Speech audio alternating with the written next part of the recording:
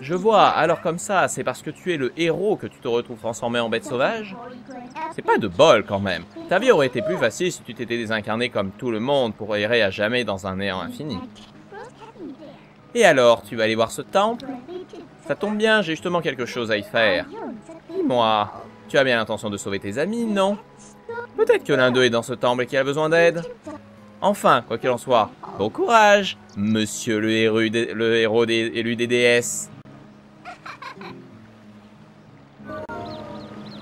Ça t'arrange bien, Midona, hein? Hein?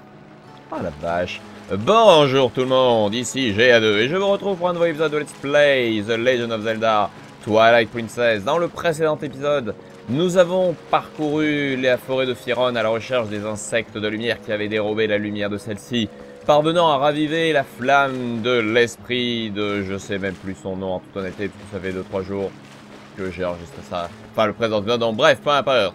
Nous avons ravivé sa lumière et nous avons libéré ces terres de l'emprise du crépuscule.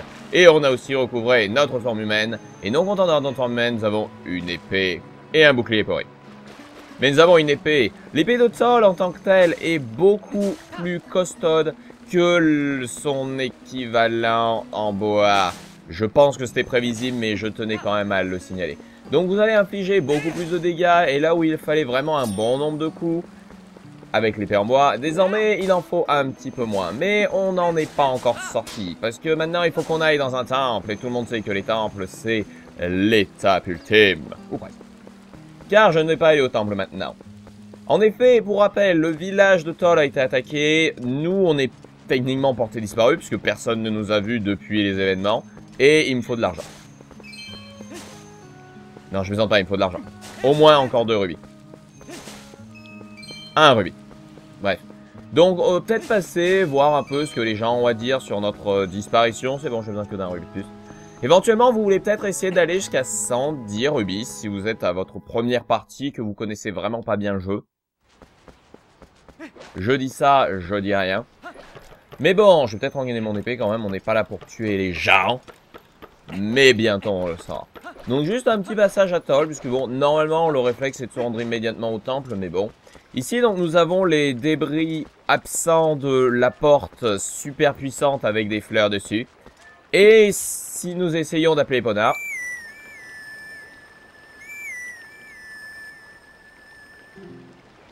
Elle ne vient pas. Donc, euh, nous avons encore perdu notre cheval pour la troisième fois. Oh, pas vraiment beaucoup de temps. On est... On, devrait pas avoir de cheval, en fait, je pense. Hein. On mérite pas d'avoir un, un canasson. Vu notre efficacité pour le garder. Non, enfin bref. Donc, le petit village de Toll.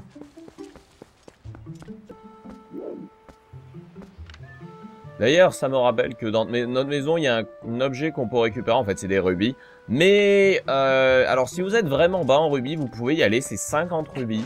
Mais personnellement, je préfère courir le risque de les oublier pour éviter de surcharger ma bourse. Parce que les rubis, ça sert, mais comme je l'ai dit, et de préférence avant d'entrer dans un donjon, il vaut mieux s'en débarrasser un minimum.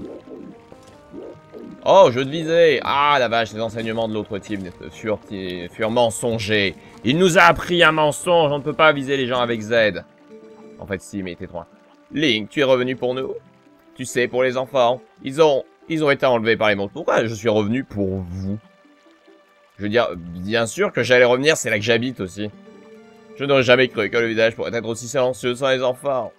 À côté, vous avez, il y a trois gosses dans ce village. Comment vous pouvez être surpris qu'ils soient silencieux de toute manière? Même avec eux, ça devait pas être très animé, hein.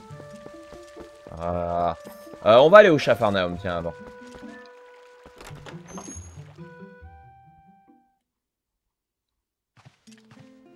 Avec le chat qui continue de boire son écuelle de lait, celle-ci doit être infinie. Link, tu es en vie? Oh, les cieux soient loués. Je t'en prie, dis-moi que tu as vu les enfants, des monstres enlevés juste après ton départ. Tu ne les as pas vus Je t'en prie, Link, je t'en supplie, retrouve les enfants, sauve-les. Ah oui, il croit qu'on était parti à Hyrule, en fait. Je sais que je n'ai rien de spécial, mais peut-être que l'une ou l'autre chose pourra te servir, regarde bien. Donc je m'étais trompé, elle vend de l'huile à lanterne pour 20 rubis au lieu de... Je pensais qu'elle vendait des graines. Si vous êtes à votre première partie, je recommande potentiellement le lait. Parce que nous n'avons pas énormément de vie.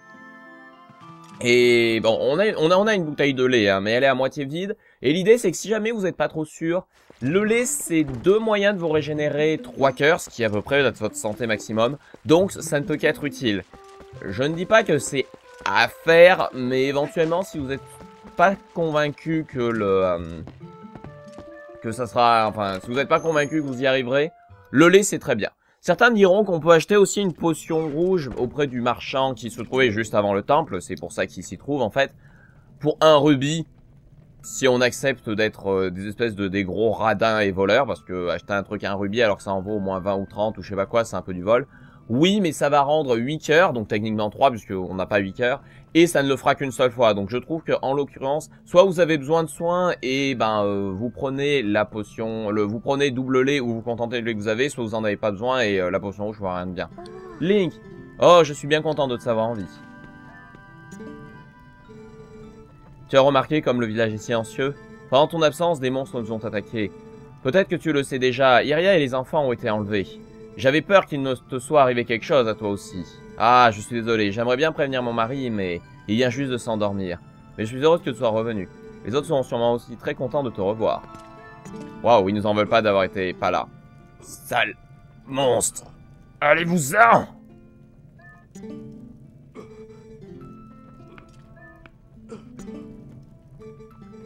Dis-moi, Link, tu crois qu'ils reviendront tous vivants?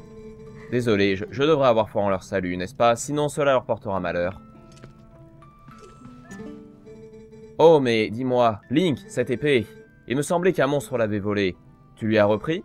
Les cieux soient loués. Je suis rassuré de savoir que c'est toi qui l'as, Link. Tu peux la garder, oui, tu en auras sûrement grand besoin. Link, ton sourire m'a fait beaucoup de bien. Prends soin de toi et reviens nous voir. Bah, je vais pas venir vous voir souvent, parce que, ouais, je vais aller m'enfoncer dans un donjon qui va peut-être causer ma mort, mais on essaiera. Bref, c'est totalement optionnel, hein. on n'apprend rien de spécial ici, mais... je me dis, mince, on commence dans un village paisible, on est content, on est heureux, et on se fait attaquer, c'est peut-être peut-être pas mal de revenir. Bref, la porte est fermée à clé, je crois que Bodan est absent. Parce qu'il a dû prendre un cheval ou quelque chose comme ça pour essayer de trouver de l'aide ou que je sais pas. On va essayer de, de, chercher encore un tout petit peu, puis ensuite on s'en ira du côté du... Euh, on va parler juste à lui, parce qu'on va pas parler à tout le monde non plus. Link, tu es vivant Dis, t'as pas vu les enfants? Des monstres, les ont enlevés, Iria, les petits, tous les enfants. Moai est blessé et Bodan est parti les chercher à sa place, mais il n'est plus tout jeune, tu sais. Je t'en prie, Link, va aussi les chercher. Ok. Et puis en fait, non, on va tous leur parler parce que, à part euh, Bodan, je crois que la seule personne qui reste, c'est celle qui est à l'intérieur de la maison, donc euh, autant le faire, quoi. Alors là, on a un chien aussi que, si vous avez envie, vous pouvez attraper. Mais il a peur de moi, je crois. C'est un gros chien, parce que dis donc, vu, vu la taille euh, de ses pattes, mais il a pas, l'air de nous aimer beaucoup. Link, mes enfants, les enfants, les monstres les ont Oh, mais qu'est-ce qu'on va faire? Fenir, Balder, oh, faites qu'il soit... Euh, Yoria et Colin aussi, peut-être, en passant. Tiens, c'est vrai que j'ai dit qu'il y avait trois gosses dans la... En vérité, il y en a techniquement 5, mais Iria et Colin, c'était pas vraiment le plus bruyant. Donc on va dire qu'il y avait 3 gamins bruyants, et bref. Euh, donc après ce rapide petit passage en ville... Désolé, bon, c'est vrai que ça a pris un petit peu plus de temps que ce que j'avais escompté, mais d'un autre côté, bon... On est en ville. On, est arrivé, on a commencé dans ce village, on y a vécu pendant des années, c'est peut-être quand même utile de pouvoir y passer pour faire quelque Bref, donc à nouveau, si vous avez besoin vraiment de rubis, allez là-bas dans votre maison. Pour, je vous rappelle, il y avait une échelle qui descendait dans les profondeurs de votre cave, mais il vous fallait la lanterne pour pouvoir y voir quelque chose. Sans, on vous disait juste non, il fait trop sombre. Si jamais vous avez la lanterne d'allumer, vous pourrez ouvrir le coffre qui se trouve au fond qui contient 50 rubis. Donc c'est utile, surtout si vous n'avez pas les 100 rubis du tout. Si vous êtes à 60, 70, 100, enfin 100, 50 ou un truc comme ça, pour monter jusqu'au 100, ça peut vraiment servir. Alors pourquoi jusqu'au 100 Parce qu'on va bientôt vider notre bourse et c'est pour ça que, bon... Je vais ignorer les quelques rubis qui tombent ici ou là. Bon, bien sûr, si c'est 5 rubis, je vais peut-être pas dire non. Mais dans l'idée, je veux pas trop remplir la bourse. Parce qu'à nouveau, les rubis, on vous en donne plein, mais votre bourse ne peut pas vraiment tous les contenir rapidement. Et vous êtes assez... Enfin, la prochaine amélioration de la bourse est pas avant un bon moment. Sachez-le, c'est pas avant... Euh, ben, après le second donjon et pas très loin... Hmm. Ouais, bon. C'est après le second donjon et pas très loin du troisième. Bien, je crois que les armes que j'ai eu tant de mal à obtenir pour toi vont être enfin utiles. Oui, merci. Heureusement que tu t'es donné beaucoup de peine. Donne des coups d'épée avec et avant avec Wiimote et abrite-toi derrière ton bouclier avec Z. Tu peux dire merci. Mais non, je ne te prends pas pour un idiot. Pense à dire merci. Merci. Bref. Alors ici, dans ce qu'elle nous dit, il n'y a qu'un seul conseil qui sert vraiment, c'est le bouclier. Celui-ci a tendance à être relativement sous-estimé, ou en tout cas c'est l'impression que j'ai. Mais il est vraiment très très efficace. Vous vous protégez avec Z. Alors bien sûr, votre bouclier ne sera pas disponible si vous attaquez avec la Wiimote et vous aurez un délai d'attente avant de pouvoir commencer, avant qu'il ne prenne effet. Hein.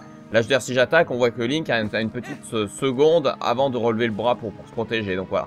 Ça bloque énormément de choses. Ça bloque pas tout, mais ça bloque genre 80% des attaques au moins. Donc c'est plutôt abusé. Bref.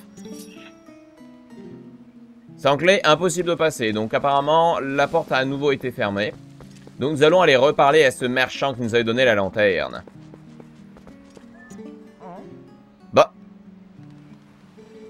C'est bien ce que je pensais.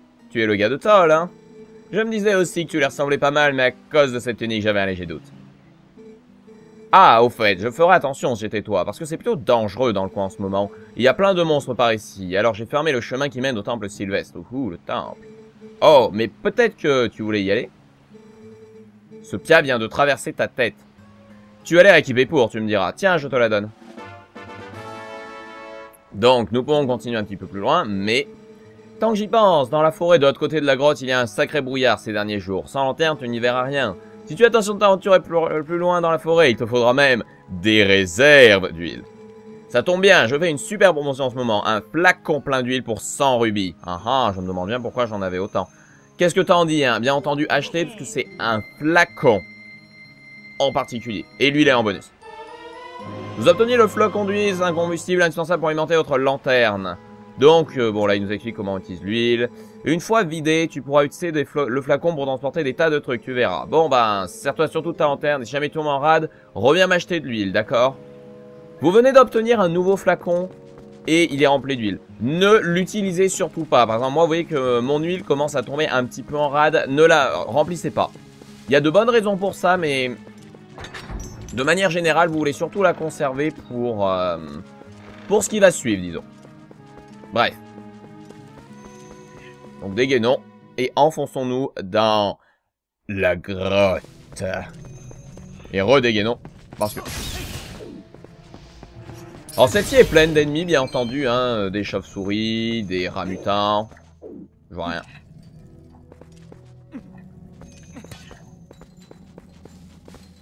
Cette lanterne éclaire, éclaire pas à ce point, mais il faut dire que... En étant située dans notre dos, elle va pas faire grand-chose.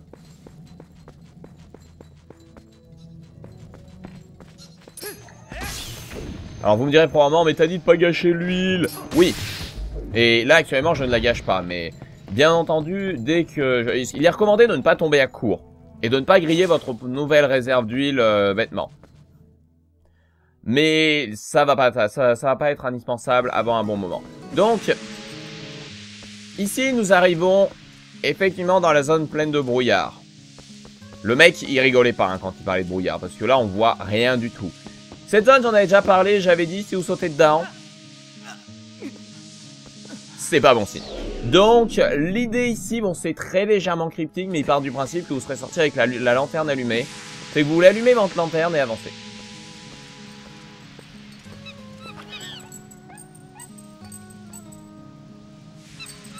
Et après, Épona, la lanterne. On est vraiment pas doué pour garder nos trucs, hein.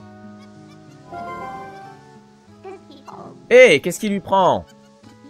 Et toi, tu peux pas faire attention, tu n'as plus de lanterne maintenant. Et de cheval. Bref, euh, idéalement, vous voulez la poursuivre pour dire « Ouais, rends-moi ma lanterne !»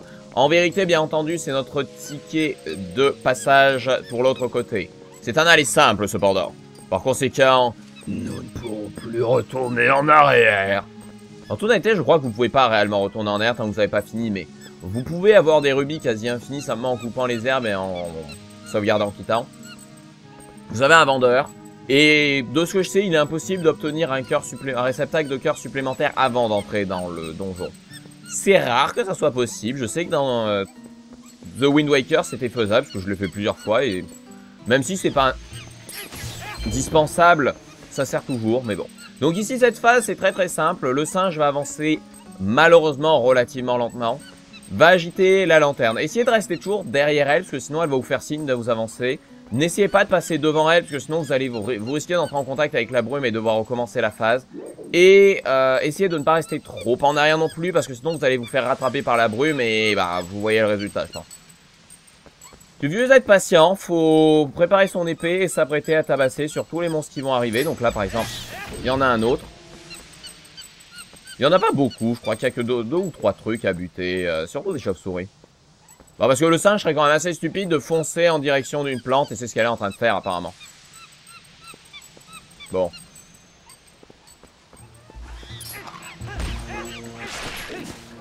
Voilà. Vous avez remarqué d'ailleurs que quand elle panique, elle, tourne, fait tournoyer la lance, c'est une manière de... Ouh, tiens, je crois qu'il a fait son je rengaine mon épée euh, avec la classe, bref. Ici, restez bien derrière elle, même si on, voit qu'on peut continuer, parce que si jamais vous essayez de passer devant, bah elle va rester sur place en attendant que vous mettiez derrière elle. C'est bizarre, je sais pas pourquoi, mais bon. Bref, elle est contente. Elle laisse tomber la lanterne, et elle s'enfuit avec son bâton à la main. Utile, très utile. Et nous pouvons récupérer notre lanterne, qui cette fois-ci... Donc, euh, la vider pour vous faire traverser la brume. Elle est vide ça marchera même si votre lanterne avait quasiment plus rien du tout. Même si vous restez genre 10, 10%, 5%, 1% d'huile, ça marchera. Mais si vous aviez votre, lanterne, votre huile au max, ça va aussi tout consommer. C'est pour ça qu'il est très fortement recommandé de ne surtout pas remettre de l'huile, parce que ça va juste être du gâchis. Alors à nouveau, vous me direz, vous pouvez récupérer de l'huile pour, bah, 1 chez le Piaf.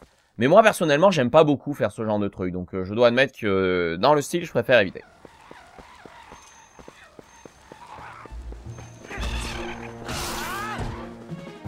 Petite différence. Je vous rappelle, avec l'épée en bois, ça nous prenait beaucoup plus de temps. Là, euh, un coup normal, attaque circulaire, pu. Ce qui est très efficace en soi. Donc, bien entendu, ici, on a le piaf. Bienvenue, voilà. Donc, j'ai pas l'intention d'acheter quoi que ce soit. Vous pouvez essayer de remplacer votre, euh, votre flacon. Vous aurez besoin d'huile pour entrer dans le, dans le temple. Donc si jamais vous aviez utilisé le flacon plein d'huile et que, ben... Par conséquent, vous avez votre lanterne qui est vide, vous êtes obligé d'en avoir. L'entrée est barrée par un obstacle qui vous réclamera un coup d'huile, donc enfin, un coup de lanterne. Donc, Achetez-en éventuellement. Mais avant, nous avons donc là-bas, pour rappel, si jamais vous l'aviez pas pris, il y a un coffre là-bas pour vous aider à le payer, si vous essayez de ne pas être radin. Et nous avons un ennemi devant nous. Ah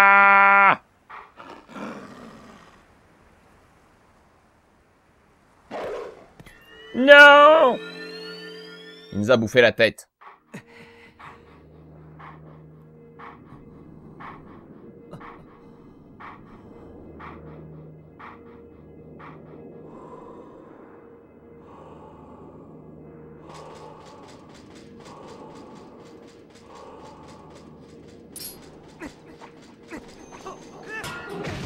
Ah Une lame sans courage est une lame impuissante. Tu es celui que les vicissitudes du destin ont désigné comme un héros, mais ton inaptitude martiale est une disgrâce au vert que tu arbores. Le courage est vain sans force, mais sans courage, la force n'est rien. Il te faudra ces deux qualités pour mener ta quête à bien. Si tu désires trouver le vrai courage et secourir Hyrule menacé par cet immense péril, tu dois suivre mon enseignement et apprendre les bottes que je puis te transmettre.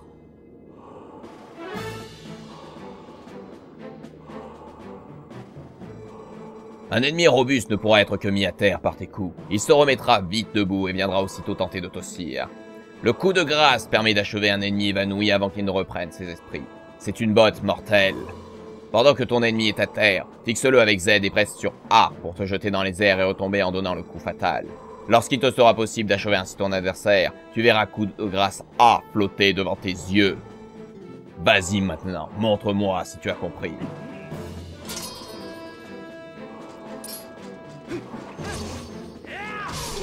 Donc effectivement, quand vous mettez un ennemi à terre, vous aurez la possibilité de Schlac Lui balancer votre épée dans le bide. Cependant, si jamais vous ratez, si l'adversaire parvient à se relever avant que vous ne le placiez, votre épée va être plantée dans le sol bêtement et le temps que Link la recouvre, ben, euh, il est probable que votre adversaire en aura profité pour mettre un bon coup de, dans la face. Hmm, ton attaque fut d'une précision satisfaisante. Reste toujours à l'affût d'une occasion de porter ce coup de grâce avec A. Tu as maîtrisé le coup de grâce.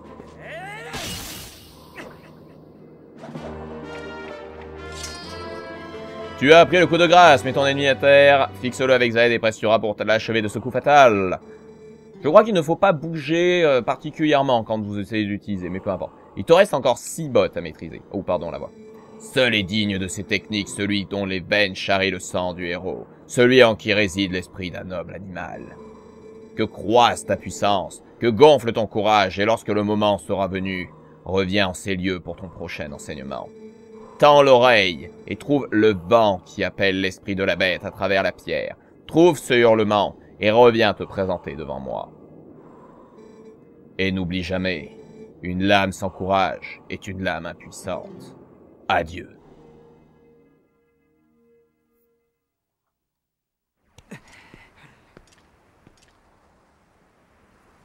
Et nous revoici, mais nous avons désormais les techniques. Il existe en tout donc 7 techniques. Toutes, sauf celles-ci, sont optionnelles. Le coup de grâce est indispensable, il est même euh, obligatoire pour finir le jeu. Mais en soi, les autres sont toutes optionnelles. Est-ce qu'elles seront inutiles? Oui et non. Oh waouh. Alors là, c'était bien mauvais. What? Qu'est-ce que je fais?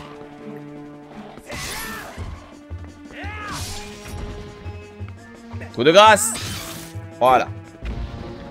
Euh, donc oui, elles sont optionnelles. Une seule est réellement nécessaire pour finir le jeu. C'est un peu pour ça qu'il se trouve en plein milieu du chemin. Et certaines, toutes sont intéressantes en soi, mais la plupart sont assez peu utiles. Il y en a deux ou trois qui sont vraiment intéressants. Euh, mais globalement, sinon, la plupart d'entre elles sont ok, mais juste pour rigoler. Bref. Notre instructeur euh, spectral, est assez intéressant. Il, a pas mal d'histoires derrière lui. Une histoire qui est liée en particulier à la timeline de Zelda, car celle-ci, pour ceux qui ne la connaissent pas, est assez particulière, parce que ce n'est pas une timeline en un seul bloc.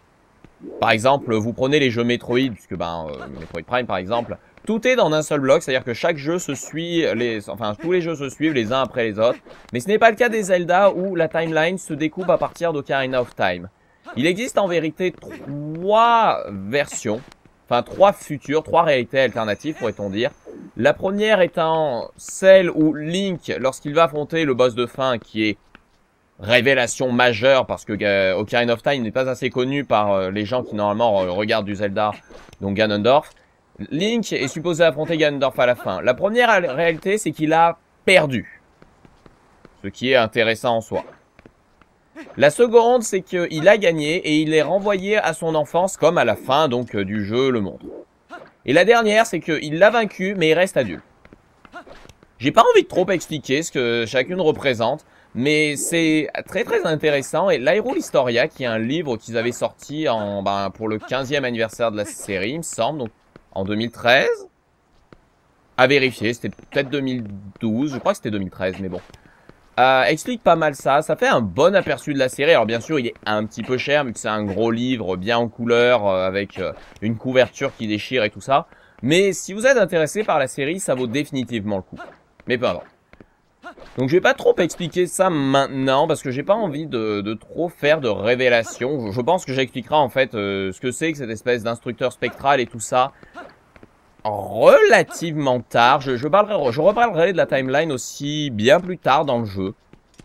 Là, je tenais juste à citer cet élément-là pour pouvoir, ben, euh, au moins le signaler. Mais à part ça, donc je pense que, ben, l'épisode ayant pris un petit peu de temps à cause du début où j'ai commencé à parler avec tous les gens, je pense que je vais m'arrêter là et que dans le prochain épisode,